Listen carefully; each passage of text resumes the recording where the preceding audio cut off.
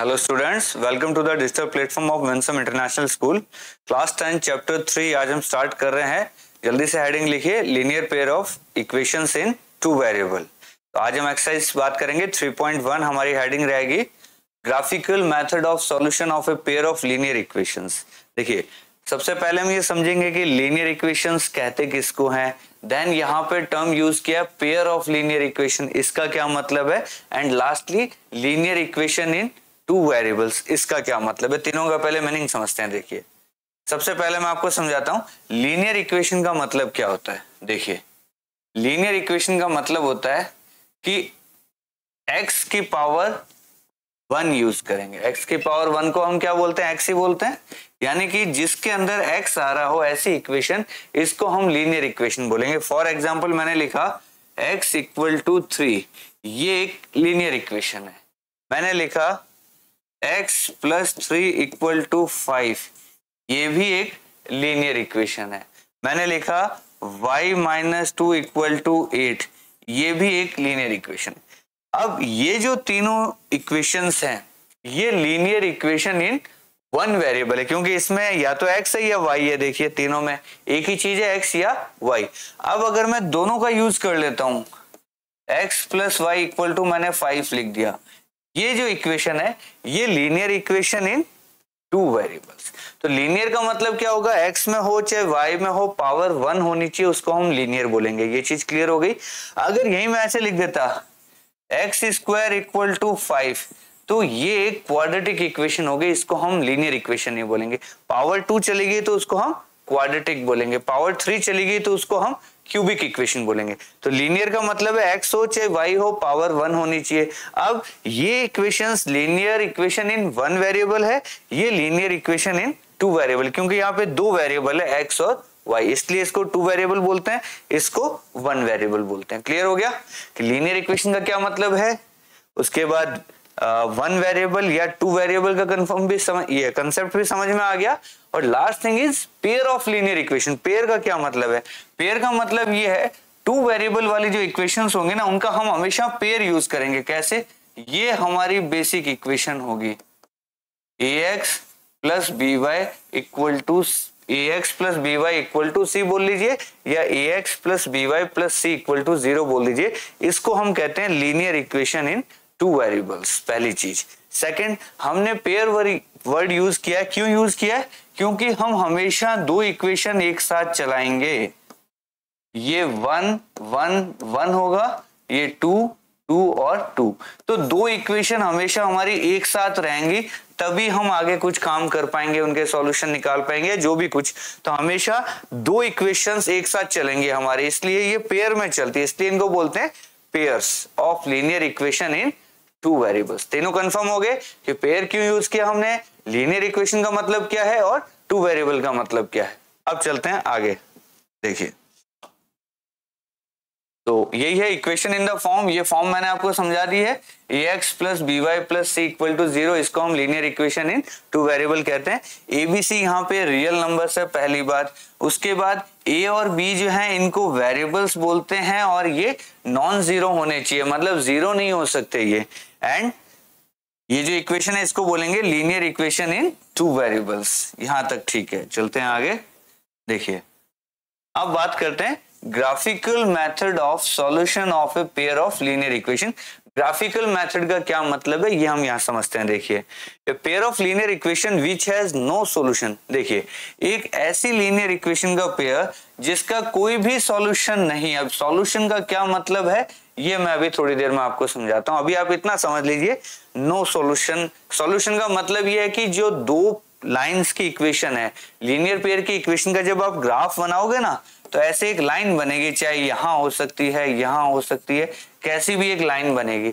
तो हमें दो इक्वेशन दिए, इसका मतलब दो लाइनें बनेंगी। अब वो दो लाइनें अगर कभी भी क्रॉस नहीं कर रही एक दूसरे को पैरेलल चली गई, इसका मतलब उनमें कोई भी कॉमन पॉइंट नहीं है, इसको हम बोलते हैं नो सॉल्यूशन ठीक है नो सॉल्यूशन का मतलब क्या हो गया कि दोनों लाइन की जो इक्वेशन है, जो ग्राफ में बनी, वो पैरेलल चलेगी। वो आपस में कहीं भी टच नहीं कर रही है इंटरसेक्ट नहीं कर रही है। इसलिए उनके सॉल्यूशन कितने कॉमन सॉल्यूशन ज़ीरो है, कोई सॉल्यूशन नहीं है। तो जिन ऐसी इक्वेशंस जिनका नो सॉल्यूशन है, उनको हम कहते हैं inconsistent pair of linear equations ये टर्म आपको ध्यान रखनी है, बहुत इंपॉर्टेंट है। कैसे पेयर को हम इनकंसिस्टेंट कहेंगे? जहाँ पे नो सॉल्यूशन है। क्या याद रखना है? जहाँ पे नो सॉल्यूशन कोई भी सॉल्यूशन नहीं है। उन पेयर्स को हम बोलेंगे इनकंसिस्टेंट पहली चीज़ क्लियर सेकंड ऐसी लीनियर इक्वेशंस के पेयर जिनमें वन सॉल्यूशन होता है या कोई भी सॉल्यूशन होता है, उनको हम कहते हैं consistent pair of linear equation जिनमें कोई भी सॉल्यूशन नहीं है इनकंसिस्टेंट जिनमें एक सॉल्यूशन है, उनको हम बोलेंगे कंसिस्टेंट और pair of linear equation which are equivalent has which are equivalent इसका मतलब क्या हो गया? ऐसी इक्वेशंस जो बिल्कुल डिट्टो सेम है, बिल्कुल. सेम टू सेम दो इक्वेशन है, जो इक्विवेलेंट है, उनमें हम बोलते हैं कितने सॉल्यूशन हो गए? Infinitely many distinct common solutions यहाँ कितने सॉल्यूशन हो गए इनफाइनाइटली मैनी बहुत सारे दुनिया भर के सॉल्यूशन हो गए देखिए, तीन ही कैटेगरी है, दोबारा समझिए। पहली कैटेगरी नो सॉल्यूशन दूसरी कैटेगरी वन सॉल्यूशन और तीसरी कैटेगरी इनफाइनाइट सॉल्यूशन। तो जहाँ कोई सॉल्यूशन नहीं है, उसको हमने बोला इनकंसिस्टेंट। जहाँ पे एक सॉल्यूशन है, उसको हमने बोला कंसिस्टेंट। और जहाँ पे इनफाइनाइट सॉल्यूशन है, उसको हमने नाम दिया डिपेंडेंट। क्या नाम दिया? डिपेंडेंट। क्योंकि एक दूसरे पे डिपेंडेंट है, दोनों सेम ही इक्वेशन है तो सेम ही लाइन बनेगी। यानी जो तीसरा केस है, वो ऐसा बनता है। देखिए, ये हमारा ग्राफ है और इसके अंदर मान लो मैंने एक इक्वेशन ऐसे बनाई और दूसरी भी इसके ऊपर बना दी। ये जो चीज़ बन रही है, एक के ऊपर एक बन गया। इस केस में क्या हो गया? इनफाइनाइट सॉल्यूशन हो गया तो इसको हम बोलते हैं डिपेंडेंट। क्या बोलेंगे? डिपेंडेंट इसका केस क्या होगा? इसका केस ऐसा होगा कि ये कोई हमारा ग्राफ है और दो लाइन की इक्वेशन है, वो ऐसे काट के चली गई कहीं पे। तो यहाँ पे कितने सॉल्यूशन आए? वन सॉल्यूशन आए। इसको हमने बोल दिया कंसिस्टेंट और जहाँ पे कोई भी सॉल्यूशन नहीं है, यानी यही, ये केस कैसा हो गया? इस केस के अंदर क्या होगा? दोनों लाइनें पैरेलल चली गई ऐसे। तो यहाँ कोई सॉल्यूशन नहीं इनको हमने बोल दिया इनकंसिस्टेंट दोबारा से समझिए, पहला केस जब दोनों पैरेलल है, यानी कि नो सॉल्यूशन है, यानी कि इनकंसिस्टेंट है। सेकंड केस वन सॉल्यूशन है, यानी कि क्रॉस कर रही हैं, यानी कि कंसिस्टेंट तीसरा केस एक के ऊपर एक बन गया, यानी कि एक दूसरे के ऊपर कोइंसाइड हो गई, यानी कि इनफाइनाइट सॉल्यूशन यानी कि इसको हमने बोला डिपेंडेंट तो इस चीज़ को एक बार मैं टेबल में डाल देता हूँ, आपको अच्छे से समझ में आ जाए, देखिए।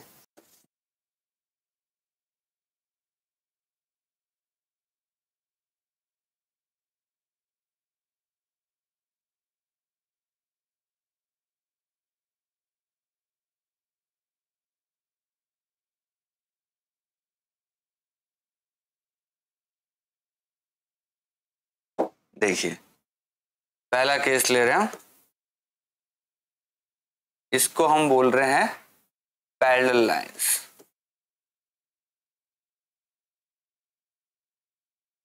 पैरेलल लाइंस, यानी कि इसको हम बोलेंगे नो सॉल्यूशन। पैरेलल है तो सॉल्यूशन होगा नहीं। इसका मैं ग्राफ भी बना देता हूँ आपके लिए, देखिए। ये हमारा एक्स एक्सिस ये हमारा वाई एक्सिस और ग्राफ बना देते हैं हम इसका। ये ऐसा ग्राफ बन गया, दोनों लाइन पैरेलल चली गई। तो जब पैरेलल लाइंस है, यानी कि नो सॉल्यूशन है, इनको हम बोलेंगे इन कंसिस्टेंट। ठीक है, ये ध्यान रखना, सेकंड केस। इनको हम बोलेंगे यूनिक सॉल्यूशन। यूनिक सॉल्यूशन बोल सकते हैं या वन सॉल्यूशन बोल सकते हैं। ठीक है, ये केस होता है इंटरसेक्टिंग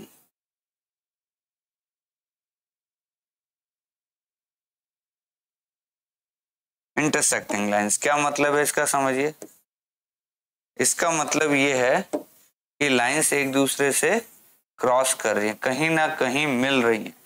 क्रॉस करेंगी तो इंटरसेक्ट हुई इंटरसेक्ट हुई तो इनको हमने बोल दिया कंसिस्टेंट ठीक है? ऐसा ध्यान रखना है। थर्ड केस हमारा क्या है? कोइंसिडेंट लाइन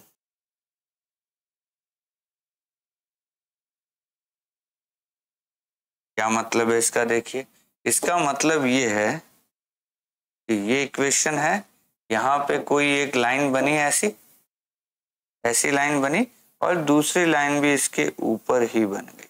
दोनों एक दूसरे को कॉन्साइड कर गई। ऐसा जब केस होगा, तब हम इसको बोलेंगे इनफाइनाइट मैनेज सॉल्यूशन ठीक है? कितने सॉल्यूशन होंगे? अनगिनत। कोई भी पॉइंट ले लो, वो दोनों के लिए कॉमन है। और सॉल्यूशन का मतलब हम कॉमन सॉल्यूशन की बात कर रहे हैं। और यहाँ इसको हम क्या बोलेंगे? डिपेंडेंट ये तीन केस हमें ध्यान रखना ये मैंने आपको ग्राफ से समझाए हैं, ये इनके बेसिक टर्म्स है, ये कितने सॉल्यूशन है, और ये हम इनको क्या नाम से बुलाएँगे, ऐसे। ये कंप्लीट ग्राफ हो गया, इस ग्राफ को आपको, ये पूरा जो टेबल मैंने बनाया, इसको अपने को याद रखना है, ठीक है? कंपैरेटिव डाटा है ये कंपैरिजन के साथ याद होना चाहिए कि इसका मतलब ये और ये होता है, इसका मतलब ये ये और इसका मतलब ये और क्लियर है? चलिए, आगे चलते हैं। चलिए। Check graphically whether the pair of equations ठीक है। देखिए ग्राफिकली हमें कैसे पता चलेगा? अभी मैंने आपको ग्राफ समझाया, देखिए, मैं तीन ग्राफ बना रहा हूँ। आपको बताना इसमें से क्या होने वाला है, ठीक है? पहला ग्राफ है, ऐसे कोई लाइंस चलेगी। सेकंड ग्राफ बना रहा हूँ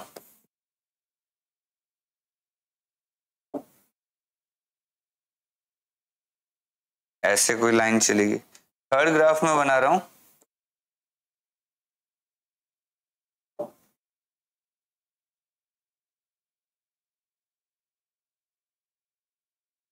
चलिए, तीनों केस में बताइए, यहाँ पे कितने सॉल्यूशन है, कितनी जगह क्रॉस कर रहे हैं, एक ही जगह है तो क्या लिखेंगे? वन सॉल्यूशन यहाँ क्या लिखेंगे? दोनों कहीं पे भी क्रॉस करेंगे एक दूसरे को? नहीं करे तो ज़ीरो सॉल्यूशन और यहाँ पे दोनों एक के ऊपर एक है तो इनफाइनाइट सॉल्यूशन तो हमें इससे देख के पता चल जाना चाहिए कि यहाँ यूनिक सॉल्यूशन है। या वन सॉल्यूशन कह सकते हैं। यहाँ नो सॉल्यूशन है। और यहाँ इनफाइनाइट मैनी सॉल्यूशन है। तो ये ग्राफ को देख के आपको ऐसे पता चल जाएगा कि क्या सीन होने वाला है। क्लियर बहुत इजी है। ग्राफ देखते ही आप ये समझ जाएँगे। ठीक है? चलिए, एक डाटा और है, वो मैं आपको और सिखा देता हूँ, देखिए। जैसे इक्वेशन हमारे पास ऐसी होंगे, देखिए मैं इक्वेशन लिख रहा हूँ। A X plus B Y plus C equal to zero A X plus B Y plus C equal to zero ये वन वन वन है। ये टू टू और टू ऐसे A one B one C one A two B two C two है यहाँ पे। अब ये ए वन ए टू और बी वन बी टू और सी वन सी टू को देख के हमें कैसे पता चलेगा क्या हो रहा है तो इसको भी हमें याद रखना देखिए, बहुत सिंपल टर्म्स में समझा रहा हूँ। पहला case A one upon A two equal to B one upon B two नहीं हो। ये रेशियो क्या है? A one upon A two का ratio B one upon B two के रेशियो के इक्वल नहीं आता। इस केस को हम बोलेंगे यूनिक सॉल्यूशन ठीक है? क्या बोलेंगे इसको हम? Unique solution second case A one upon A two equal to है B one upon B two लेकिन इक्वल टू नहीं है C one upon C two के। इसको हम बोलते हैं नो सॉल्यूशन थर्ड केस अगर A one upon A two equal to आ जाता है B one upon B two equal to आ जाता है C one upon C two इस केस को हम बोलते हैं इनफाइनाइट मैनी सॉल्यूशन ये तीन केस हमें ध्यान रखने हैं इस तरीके से। बहुत ही इजी वे में समझाए हैं आपको। इनको अच्छे से लिख के रखिए, ठीक है? अच्छे से याद कीजिए। अच्छे से, एकदम रट डालो इसको। A one upon A two not equal to B one upon B two तो unique solution A one upon A two equal to B one upon B two not equal to C one upon C two तो no solution और सब equal हो जाए तो infinite many solution इसका graph क्या बनेगा? यूनिक सॉल्यूशन का ग्राफ क्या है? यूनिक सॉल्यूशन का ग्राफ होता है कि दोनों एक दूसरे को कट करनी चाहिए। वो कहीं भी कट कर सकती हैं, ऐसे भी हो सकती है मतलब ये इधर जा रही है, ये इधर जा रही है। सेकंड केस जब वो दोनों ही नो सॉल्यूशन है, इसका केस क्या होगा? दोनों के दोनों पैरेलल चली जाएँ। पैरेलल कैसे जा सकती हैं? ये लीजिए, एक यहाँ से चलेगी, एक यहाँ से चलेगी, दोनों पैरेलल है। और थर्ड केस आपको समझ में आ ही रहा है, क्या होना चाहिए? कि दोनों एक दूसरे के ऊपर बन जाए कोइंसिडेंट लाइंस बन जाए तो क्या हो जाएगा? ऐसे बनाई, दूसरी भी इसके ऊपर ही बना दी, दोनों सेम ही लाइन बन गई इस तरीके से। तो ये तीन केस हैं। तीनों ग्राफ से भी समझा दिए रेशियो से भी समझा दिए और वैसे भी समझा दिए। क्लियर चलते हैं आगे। चलिए, अब क्या कह रहा है? एग्ज़ाम्पल टू कहता है graphically find whether the following pair of equations has no solution unique solution और इनफाइनाइटली मैनी सॉल्यूशन यानी ग्राफ बना के हमें पता करना है कि क्या होने वाला है। तो ग्राफ कैसे बनाएँगे? तो देखिए, बहुत सिंपल है। सबसे पहले आपको पहली इक्वेशन लिखनी है। देखो, मैंने लिखा five X minus eight Y equal to इस वन को मैंने उधर भेज दिया। ये माइनस वन बन ठीक है? चलिए। अब इसमें क्या करना है आपको? एक डब्बा बनाना है ऐसा। डब्बा बना सकते हैं आराम से? ऐसा एक डब्बा बनाना है। यहाँ लिखना है एक्स यहाँ लिखना है वाई लिख सकते हैं ऐसा? चलिए, अब ध्यान से देखना मैं क्या कर रहा हूँ। बहुत सिंपल है। मैंने इस इक्वेशन में x equal to zero put कर दिया। X की जगह क्या पुट कर दिया? ज़ीरो। X की जगह ज़ीरो पुट किया तो ये खत्म हो गया। Y की वैल्यू कितनी आ गई? Y की वैल्यू आ गई वन अपॉन एट क्योंकि ये एट उधर जाएगा तो वन के नीचे आएगा माइनस से माइनस कट जाएगा तो प्लस का वन अपॉन एट और अगर मैं y को ज़ीरो कर दूँ तो x की वैल्यू क्या आ रही है? देखो, x इक्वल टू माइनस का वन अपॉन फाइव क्या आ रहा है? ये ऐसे करके मैंने इसको बना दिया। सेकंड इक्वेशन देखिए। सेकंड इक्वेशन को मैं थोड़ा सा ठीक करता हूँ। ये देखिए, यहाँ फाइव है, यहाँ फाइव है।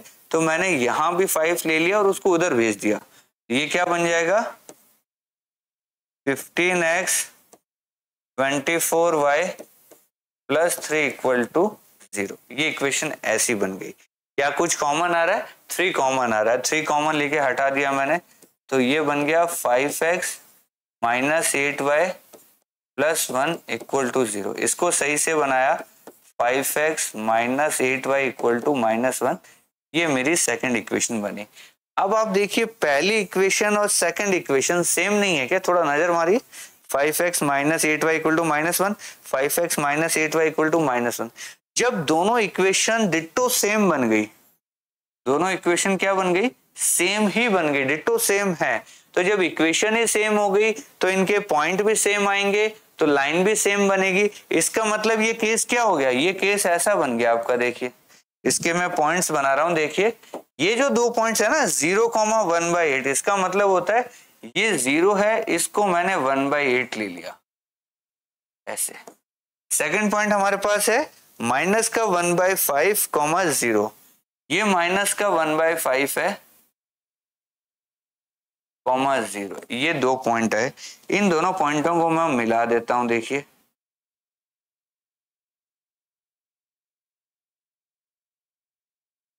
तो ये दो पॉइंट हमारे बने इस लाइन के लिए। सेम इसके लिए भी यही लाइन बनेगी। तो ऐसा केस जब लाइन एक दूसरे के ऊपर बन जाती है, उस केस को हम क्या बोलते हैं? इनफाइनाइट मैनी सॉल्यूशंस तो इसका आंसर क्या हो जाएगा? इसका आंसर हो जाएगा इनफाइनाइट मैनी सॉल्यूशंस कैसे हो गया ये आंसर कि दोनों लाइन की इक्वेशन सेम आ गई तो इसका ग्राफ ऐसा बनेगा, एक के ऊपर एक बनेगा तो हर पॉइंट इसका सॉल्यूशन है। इसका मतलब कितने सॉल्यूशन हो गए? इनफाइनाइट मैनी सॉल्यूशन हो गए। क्लियर बहुत सिंपल एग्जांपल था। दोनों इक्वेशन सेम ही आ गई। चलते हैं आगे। चलिए, अब क्वेश्चन क्या कर रहा है? Champa went to a sale to purchase some pants and skirts whether her friends her how many of each she had bought She answered, The number of skirts is two less than twice the number of pants purchased. Also, the number of skirts is four less than four times the number of pants purchased. Help her friends to find out how many pants and skirts Champa bought. चलिए simple question है हम इसको step by step लिखेंगे let number of pants equal to x and number of skirts equal to y. ऐसा हमने assume कर लिया। Number of friends को हम x मान रहे हैं नंबर ऑफ़ स्कर्ट्स को हम y मान रहे हैं। नाउ एज पर क्वेश्चन जैसा क्वेश्चन कहते कह रहा है, वैसे वैसे हम इक्वेशन बनाते हैं, ठीक है? देखिए ध्यान से, पहले इक्वेशन कहाँ से बनेगी, समझना इस चीज़ को। पहले इक्वेशन मैंने बनाई यहाँ से। The number of skirts is two less than twice the number of pants इस लाइन को अच्छे से पढ़िए। क्या कह रहा है? नंबर ऑफ़ स्कर्ट्स इज़ तो हम पहले नंबर ऑफ़ स्कर्ट्स कितना है? वाई तो हम लिखेंगे वाई इज़ इक्वल टू ये चीज़ समझ आए? नंबर ऑफ़ स्कर्ट्स इज़ कह रहा है तो number of skirts equal to लगा दीजिए। तो वाई है number of skirts equal to लगा दिया।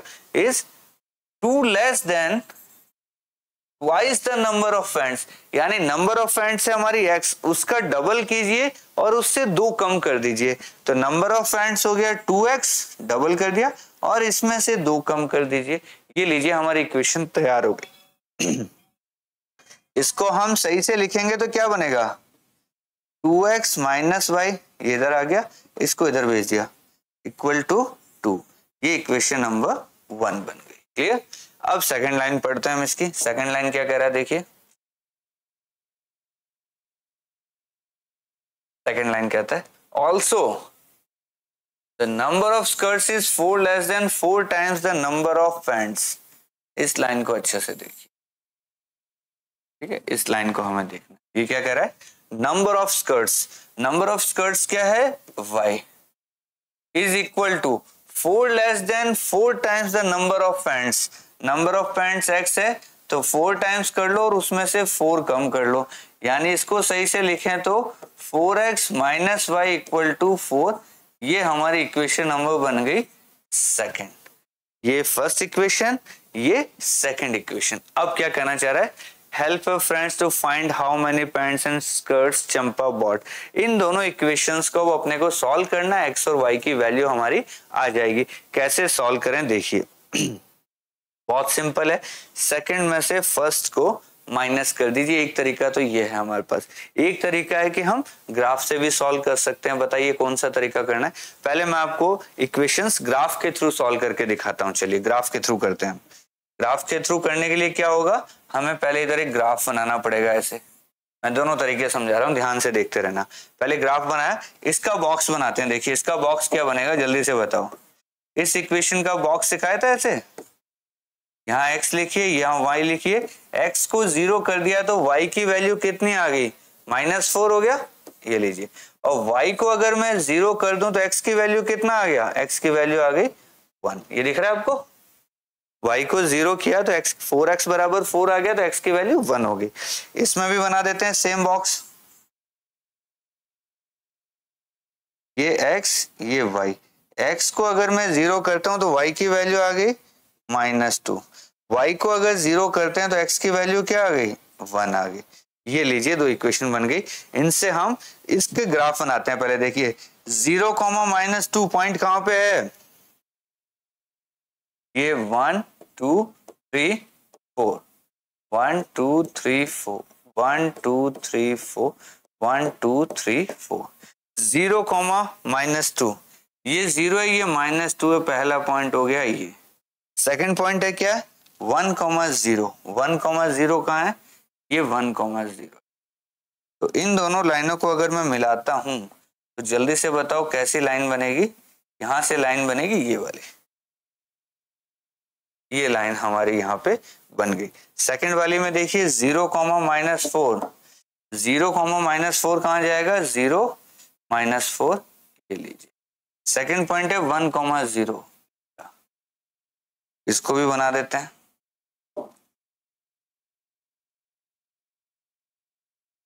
ये लीजिए दोनों लाइनें बन गई।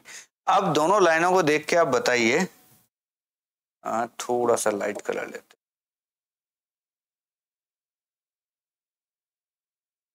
ये वाला कलर इन दोनों लाइनों में देखिए कहाँ ये इंटरसेक्ट कर रही हैं। तो दोनों में जो कॉमन पॉइंट आया ना, वो ये वाला आ रहा है कॉमन पॉइंट जिसका नाम है वन कॉमा ज़ीरो।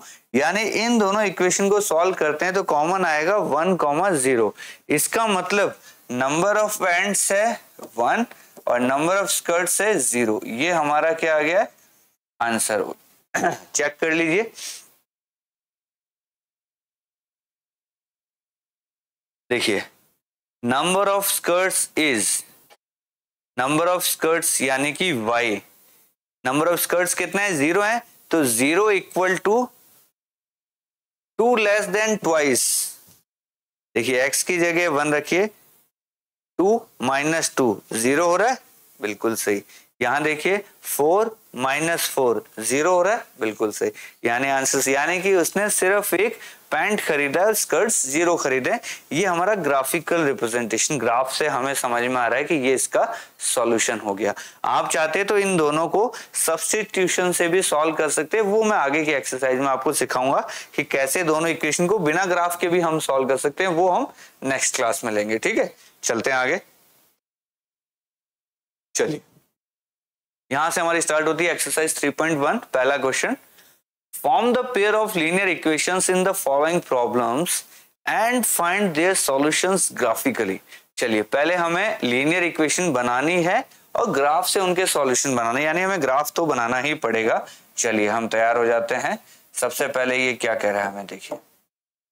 ये कह रहा है ten students of class x took part in mathematics quiz if the number of girls is four more than number of boys देखिए, मैंने लिखा let number of girls equal to x number of boys equal to y as per question question के हिसाब से क्या है, देखिए। सबसे पहले इसने क्या कहा? The number of girls is four more than इस लाइन को देखिए अच्छे से।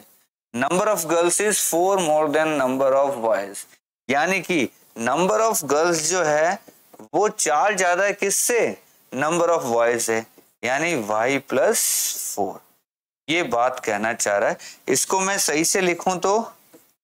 X minus y equal to क्या आ गया? फोर आ गया। ये पहली बात है, ठीक है? अच्छा। दूसरी इसने कोई इक्वेशन दी क्या? दूसरा तो कह रहा है find the number of boys and girls अब बताओ सेकंड इक्वेशन कहाँ से आएगी? दिमाग लगाओ। क्या सेकंड इक्वेशन स्टार्टिंग में ध्यान से देखो। Ten students of class x इस लाइन को देखो, यहीं पे इक्वेशन छुपी हुई है। ये दिख नहीं रही है, ये छुपी हुई इक्वेशन है। इसका मतलब टोटल स्टूडेंट्स कितने हैं? टेन है ना? इसका मतलब सेकंड इक्वेशन क्या हो गई? अगर बॉयज़ और गर्ल्स को मिला दें तो कितना होना चाहिए? टेन ही तो होंगे ना। ये सेकंड इक्वेशन थी, ये फ़र्स्ट इक्वेशन इसको हमने इक्वेशन नंबर वन लिखा, इसको हमने इक्वेशन नंबर टू लिखा, अब हम बनाएँगे इसका ग्राफ ये ग्राफ बना दिया हमने। चलिए, इसका बॉक्स बनाओ, जल्दी से बॉक्स क्या बनेगा? फटाफट बताओ इसका बॉक्स क्या बनेगा? ये लीजिए। ये x है, ये y है। और एक इसका ग्राफ बना देते हैं इसका भी बॉक्स बना देते हैं। ये x है, ये y देखिए, अगर x को मैं ज़ीरो रखता हूँ तो y की वैल्यू आ जाती है माइनस फोर और अगर y को ज़ीरो रखता हूँ तो x की वैल्यू क्या आ जाती है? फोर तो पहले तो इसकी लाइन बना देते हैं। ज़ीरो माइनस फोर और four zero one two three four five one two three four five one two three four five ठीक है, ऐसे हमने बना दिया। पहली इक्वेशन है zero minus four zero minus four ये हमारा एक पॉइंट हो गया। हमेशा पहले एक्स लिखना है, फिर वाई लिखना है। सेकंड पॉइंट है फोर ज़ीरो ये बन गया हमारा फोर ज़ीरो इसकी हम लाइन बना देते हैं फटाफट। ये लीजिए, एक लाइन हमारी बन गई। सेकंड इक्वेशन हमें सॉल्व करनी है। देखिए, बहुत सिंपल दिख रहा है मुझे। अगर x को मैं फाइव मानू तो y की वैल्यू भी क्या आ जाएगी? फाइव अगर x को मैं फोर मानू तो y की वैल्यू कितनी आ जाएगी? सिक्स मैंने अपनी मर्ज़ी से ले लिया। क्योंकि अगर मैं ज़ीरो लेता तो y की वैल्यू टेन आती तो ग्राफ मुझे थोड़ा बड़ा बनाना पड़ता। टेन के लिए मुझे ऐसे one, two, three, four, five, six, seven, eight, nine, ten, वहाँ तक जाना पड़ता। मेरे पास जगह कम थी, इसलिए मैंने वैल्यू अपने हिसाब से मान ली कि इसको फाइव माने तो फाइव प्लस फाइव टेन होता है, और फोर प्लस सिक्स भी टेन होता है, ये लीजिए। तो फाइव फाइव जो हमारा पॉइंट है, वो कहाँ बनेगा, देखिए। फाइव फाइव जो हमारा पॉइंट है, वो बनेगा one two three four five one two three four five यहाँ बन गया फाइव फाइव सेकेंड पॉइंट है four comma six four comma six कहाँ बन गया? ये फोर है, और ये सिक्स यहाँ बन जाएगा कहीं। ऐसे। तो इसको अगर हम ड्रॉ करेंगे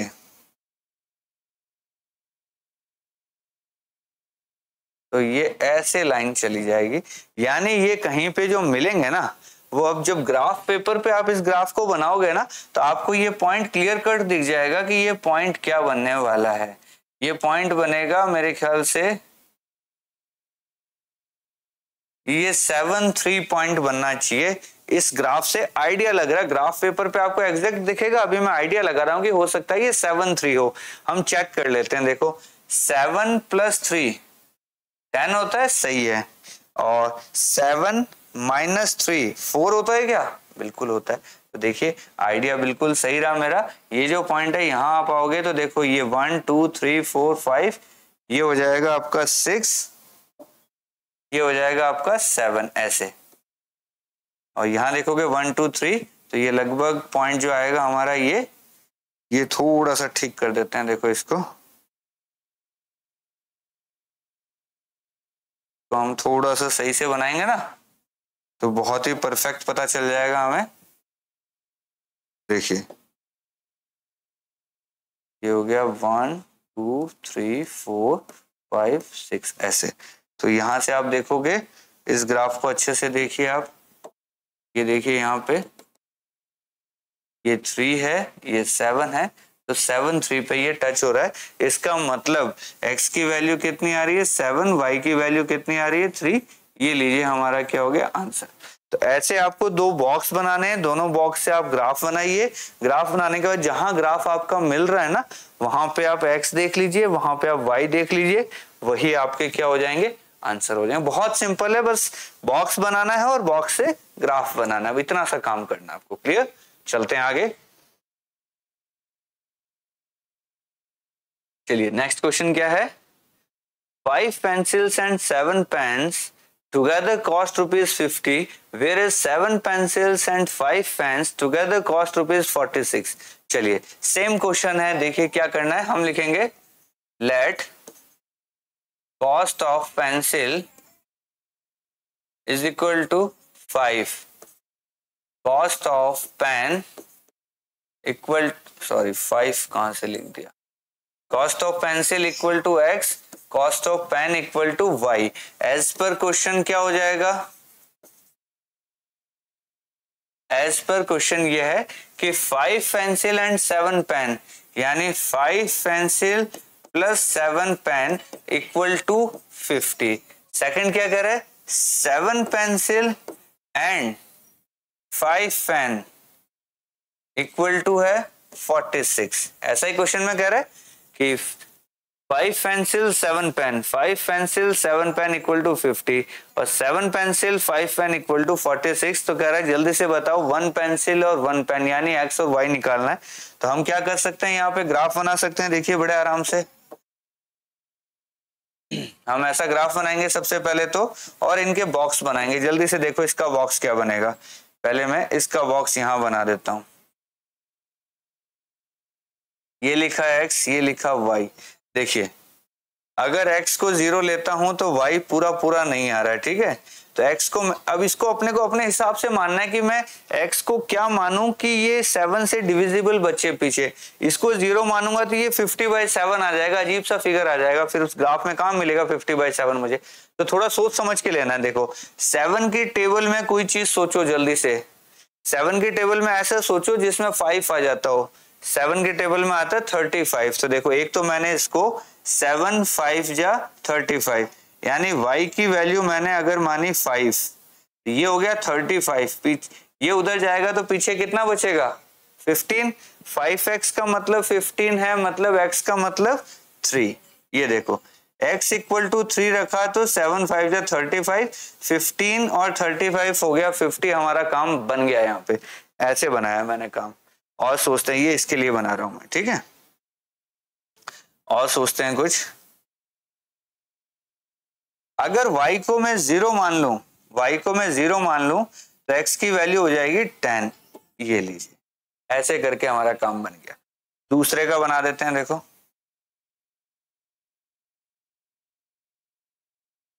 ये इसके लिए बना रहा हूँ, ठीक है? ये x है, ये y है।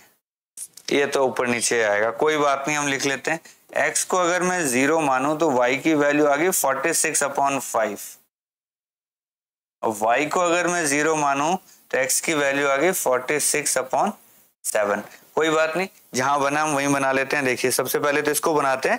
Three comma five three comma five कहाँ बनेगा? अच्छे से देखिए। ये टेन तक हमें ग्राफ ले जाना है तो थोड़ा सा इधर खिसकाना पड़ेगा इसको। थोड़ा प्रॉपर ग्राफ बनाते हैं, देखिए। यहाँ तक बनाते हैं। One, two, three, four, five, six, seven, eight, nine, ten तक ले गए।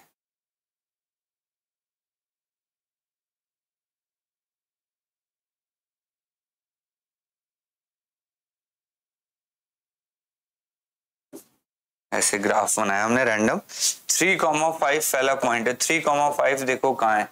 ये थ्री है, ये फाइव है। पॉइंट हम लिख देंगे पास में थ्री फाइव। दूसरा है टेन ज़ीरो। टेन ज़ीरो कहाँ आ जाएगा? ये आ गया टेन कॉमा ठीक है। दोनों को मिला दो भैया। ये लीजिए हमारी एक लाइन बन गई। सेकेंड लाइन है zero comma forty six upon five. तो ये लगभग कितना हो गया? नाइन फाइव जब फोर्टी फाइव होता है, नाइन से थोड़ा सा बड़ा। ज़ीरो कॉमा नाइन के आसपास। Forty six upon seven by zero. Forty six upon seven जाए तो हम लगभग सिक्स और सेवन के बीच में सिक्स और सेवन के बीच में one two three four five six और सेवन के बीच में लगभग यहाँ कहीं मानते हैं। फोर्टी सिक्स अपॉन सेवन ये उल्टा कर दिया सॉरी हाँ कॉमा ज़ीरो ठीक है। एक पॉइंट यहाँ बन रहा है और एक पॉइंट हमारा कहीं यहाँ बनेगा। देखते हैं। एक हमारा कहीं यहाँ बन रहा है। इसको थोड़ा सा सही बनाते हैं हम। ये देखो, one, two, three, four, five, six, seven, eight, nine. Nine से थोड़ा सा ऊपर, यहाँ कहीं बन रहा था। इसका नाम हमारा है forty six upon five, zero comma ये। ये वाली जो लाइन बनेगी ना, ये लाइन देखिए कहाँ बन रही है हमारी।